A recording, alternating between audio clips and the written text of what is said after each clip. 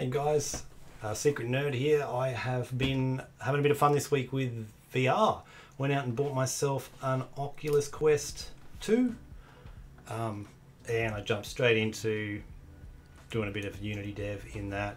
So it's been been a week since I've had this thing, and I've started making this archery game. And I just want to show off kind of what what it does and what it's like. So we'll uh, we go. It's working. Cool. Jump in there. Got to find my hands first. Oh dear. There's one. There's another one. It's inside this bottle. Okay. So oh, these are placeholder bad guys that are just kind of walking towards my tower. A bow, which you can pick up with either hand. Move your quiver around.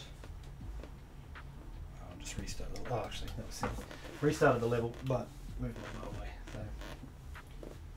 Got some janky animations at the moment, but the bow that I made in Blender, I just brought it in. It. Actually, it's a bit awkward. Ah, put that there for now. Boop. Ah, nice. Yeah, there's no sounds. Obviously, I haven't made those yet. But yeah, cool bow. You can pull the string back. It animates the bow. These dudes are just. Oh, ragdoll! Look at that. That's cool.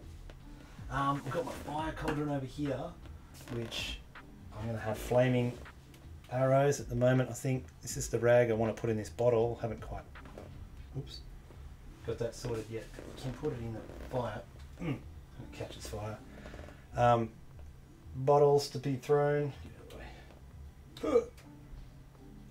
And strange physics things happen when you do that. This is going to be a flame arrow, so we can. Okay, let's get out of here. Anyway, they're going to go on the end of the arrows, and then you'll be able to put them in the flame and shoot.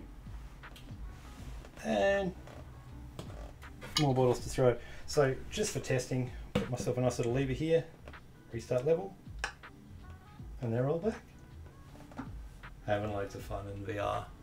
So the idea is create a crafting game where you can shoot these dudes or better looking dudes than them in the future and then they will drop loot such as rags which you can use to make molotovs which I can't do yet and also flaming arrows we have to create more intricate things that you can craft with all the cool stuff that you get.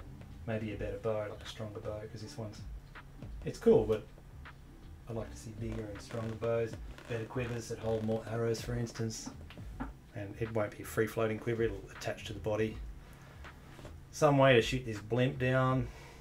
No materials added to the blimp yet. What's going on with that? That's weird. Anyway. Oh, eat that, suckers.